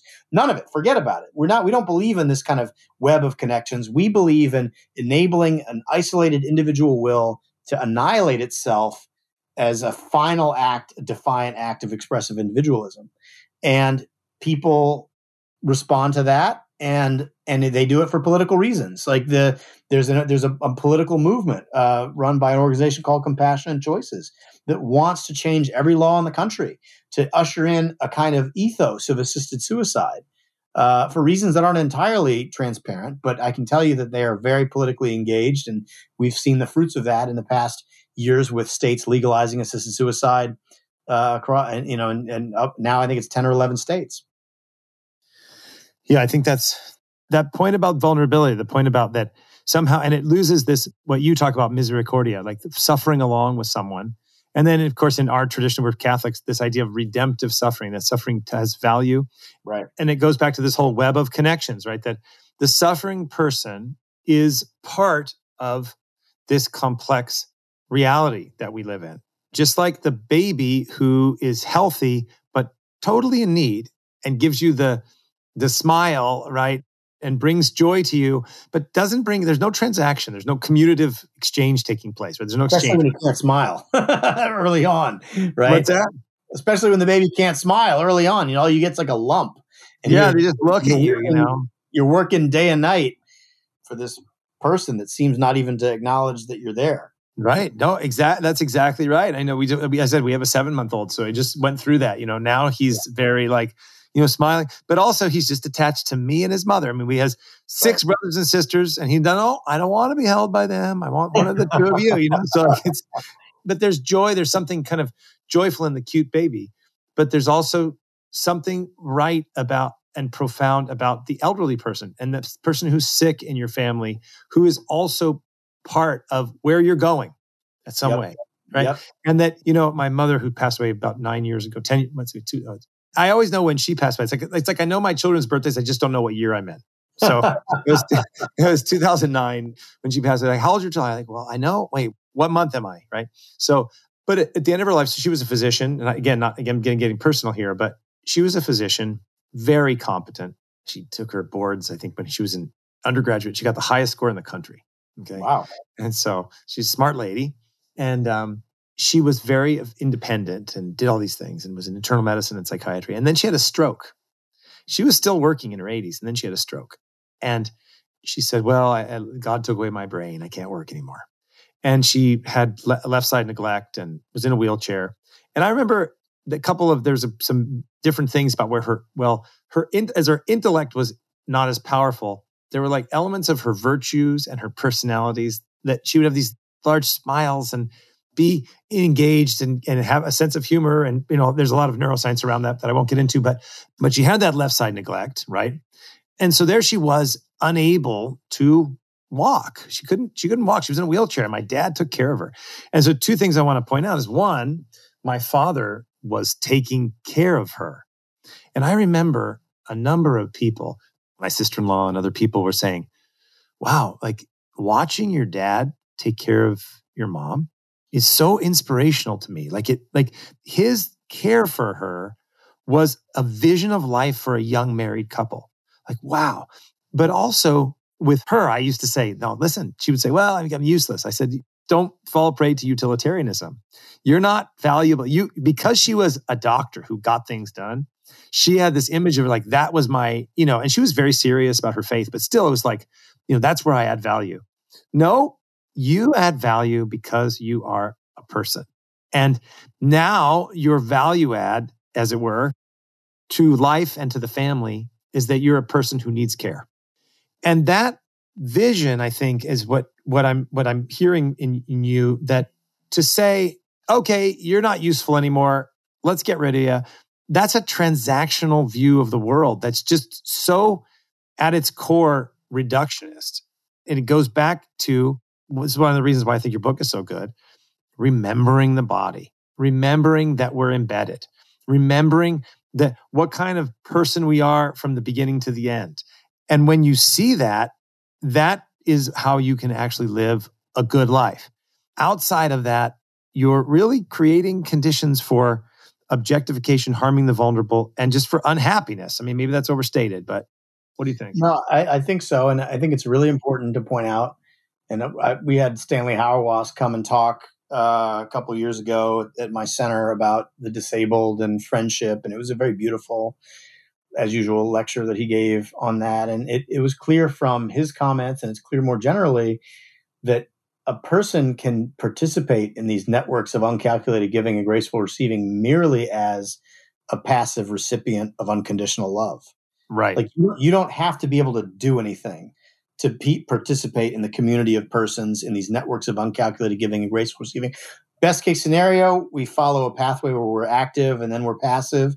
But there are some people who are always passive and then we'll never be anything other than people who simply receive, and maybe even without acknowledgement, receive unconditional love and care. And that is as valid as the most dynamic, you know, scientist, philosopher, professional athlete, whatever.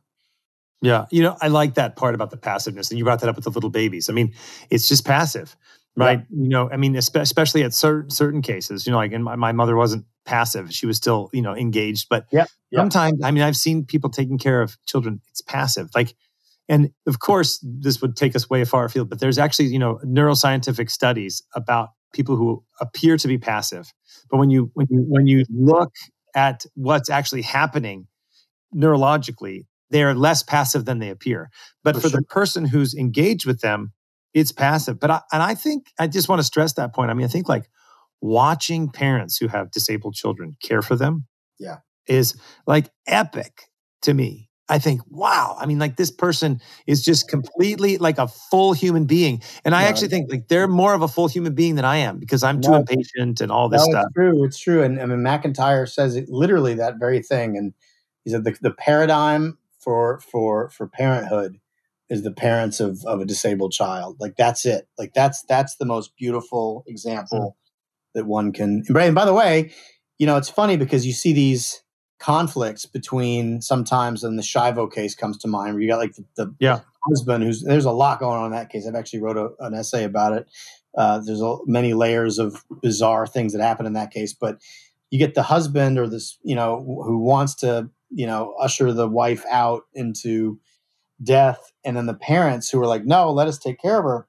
And I'm not suggesting that parents should always trump spouses. Probably the opposite is what I think. Uh, if we're talking about generalizations but there's something about a parent yeah. who can see a grown-up child in, to- in a state of total dependence and persistent vegetative state that's not that shocking and jarring. I mean, it's sad, but they've taken care of that person when they were utterly dependent and unable to speak and unable to express themselves and so on. You know, when yeah. they were babies. So it's a kind of it's a kind of training to see, you know, to what it really means to be a parent and the selflessness that it entails. Good. Well, Carter, this is so good. Thanks for taking so much time.